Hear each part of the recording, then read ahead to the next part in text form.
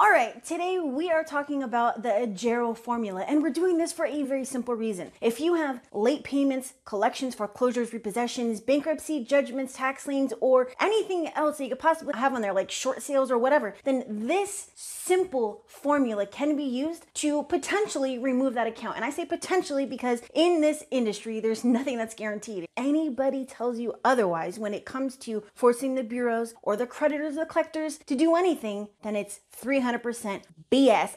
BS. It's really simple. A J E R O. And this is a term that I coined because it tells you exactly how to dispute, right? So when you're looking at your credit report, you go and you break down your credit report, and that's my puppy playing with something down there. So basically, all you're going to do is pull your credit report, you're going to look at your account, and you're going to determine why the account should be removed, right? So we're looking at things like the balance, the date last active, the date last paid, the notice of dispute, or the lack of notice of dispute, the failure to change the date last reported, so on and so forth, right? And then everything that you could possibly have down in the payment history at the bottom of your account, okay? So once we determine what it is that's going to give us the best possible chance to remove that account, we're going to write our dispute reason. And that's when we're using the AJERO formula. We have action such as delete or remove or even update, anything that's going to tell them the action, what you want for them to do with the account, right? If you are attempting to remove late payments, you're going to say update or remove. If you're trying to get rid of the account, you're going to say delete or remove, okay? Delete this account for inaccuracy. When you explain the reason why you want something to happen, nine times out of 10, it's going to make it significantly easier to get what it is that you're asking for. And of course, we're using the FCRA, the FDCPA, the FCBA, all of these things to support with a law, but we're not saying pursuant to blah, blah, blah, unless there is a violation. We just know that it exists, and that is why we know that this can work, right? All right, so now we need to tell them the element. What element in this account is inaccurate? The date last active,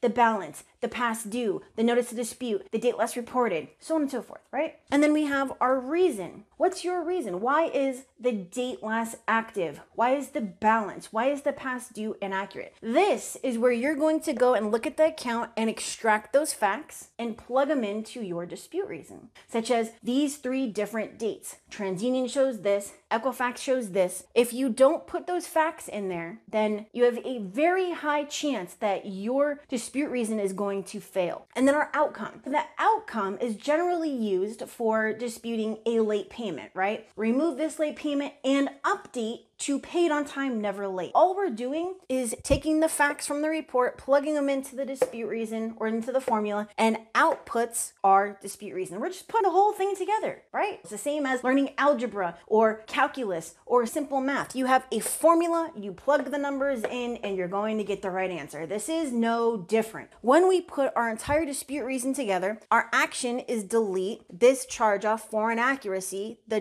justifier is because the element is date last reported, shows, and then we have the facts, which is the reason, date on TransUnion, date on Equifax, and date on Experian. You don't have to say and do anything else. So the entire thing goes delete this charge off for inaccuracy because the date last paid shows date on TransUnion, date on Equifax, date on Experian. It is really as simple as that. Can it work for you? Yes. Can it work on collections? Yes. Can it work on debt by collections? Yes. Can it work on bankruptcy? Yes. Can it work on late payments? Yes. How can you take a bankruptcy and plug the information in? If you look at your bankruptcy and it shows three different court names, you're going to say delete this bankruptcy for inaccuracy because the court name does not show or shows this and this, and the city and state are required to report in the bankruptcy court name, right? You can't just have it say federal. You can't just have it say U.S. Bankruptcy Court. You can't just have it say USBKRPTCT.